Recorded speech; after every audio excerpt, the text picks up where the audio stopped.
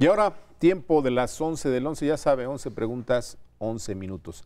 Esta mañana nos acompaña el doctor Raimundo Tenorio. Usted lo conoce, ha estado con nosotros en varias ocasiones, analista económico, un académico muy reconocido. Doctor, bienvenido. Buenos días, Ricardo. Doctor, pues eh, estamos ya prácticamente en lo que se conoce como la transición, matambor batiente, los señores que vienen del nuevo gobierno y dicen que van a ahorrar mucho dinero con eh, supuestos este, reducción de salarios, etcétera. ¿Qué significa todo esto?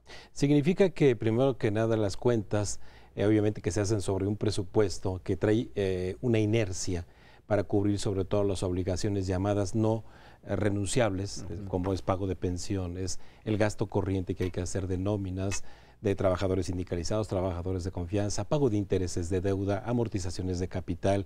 Es decir, hay partidas que son irrenunciables y que absorben una cantidad importante de recursos del presupuesto anual, como también las transferencias a las que tienen derechos los gobiernos de los estados, que es el monto más importante de todo presupuesto.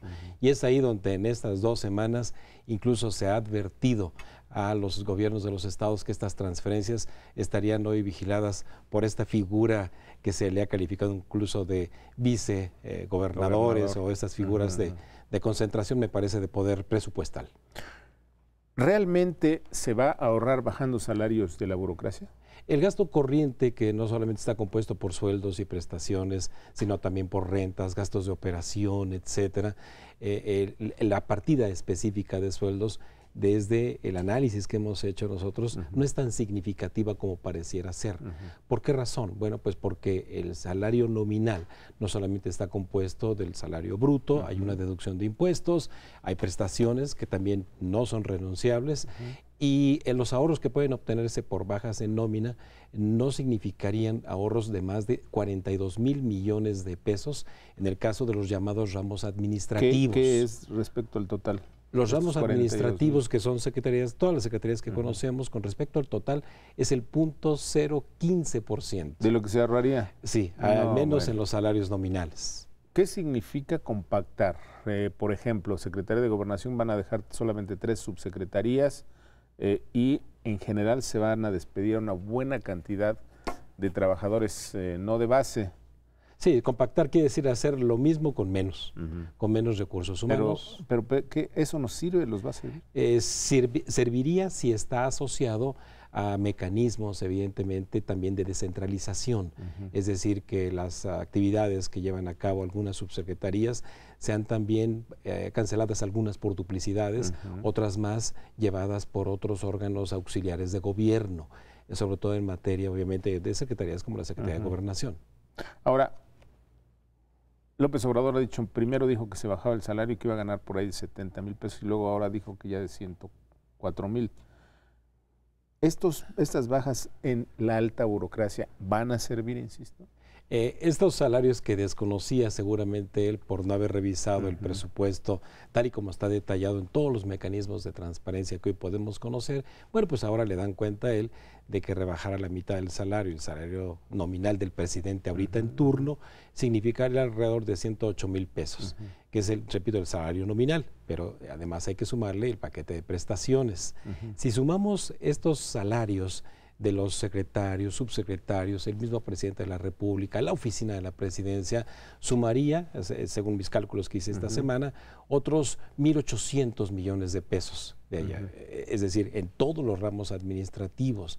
Pero también hay que sumarle a estas cantidades esos llamados pagos de dieta, pagos obviamente de protocolos, etcétera. Ahí está toda esta cifra.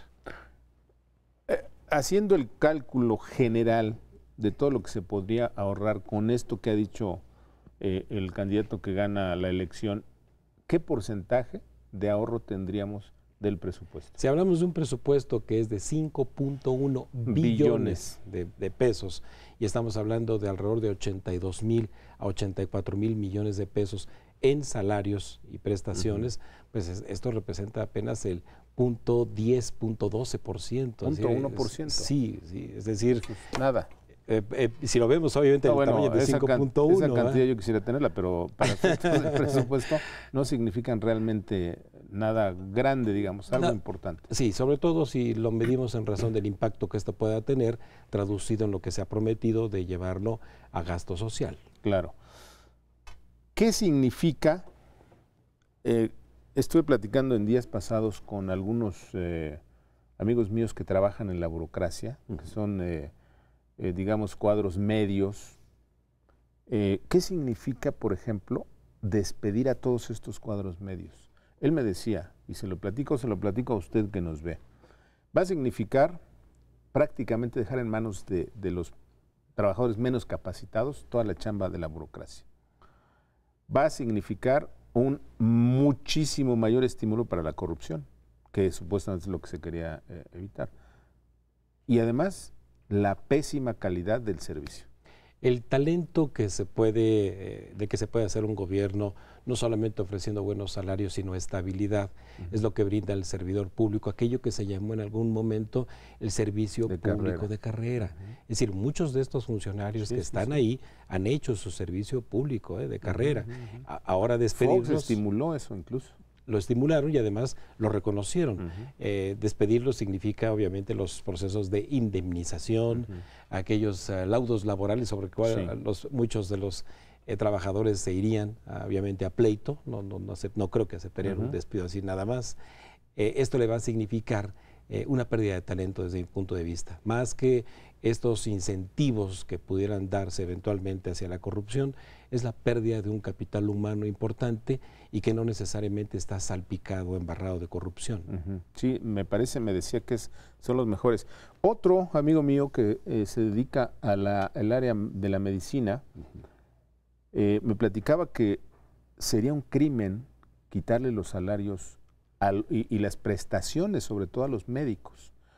Me decía que la construcción de, estos médicos brillantes que hay en México a través de todas las instituciones de, salud son de suyo mal pagadas, pero que el beneficio para ellos es que cuando salen se pueden contratar muy bien en las instituciones privadas, incluso en el extranjero, pero se les va a castigar fuertísimo y es romper esa cadena de construcción de buenos médicos.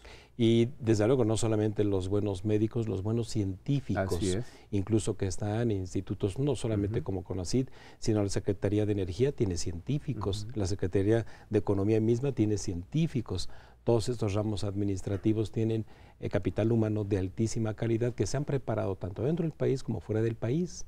Entonces, también destruir esta base del incentivo salarial, de prestaciones, para no retener ese talento, eh, podría tener en el corto plazo sobre todo una curva de aprendizaje negativa. Y un costo altísimo. Y un costo muy alto. ¿Qué significa el traslado de secretarías? Ya el de educación, por ejemplo, dice, mi oficina ya va a estar en Puebla. El traslado de secretarías significa desde, imaginemos, puesto en la práctica, el menaje de casa, que hay que cubrir evidentemente porque así está contemplado en los contratos, tanto colectivos como individuales de trabajo.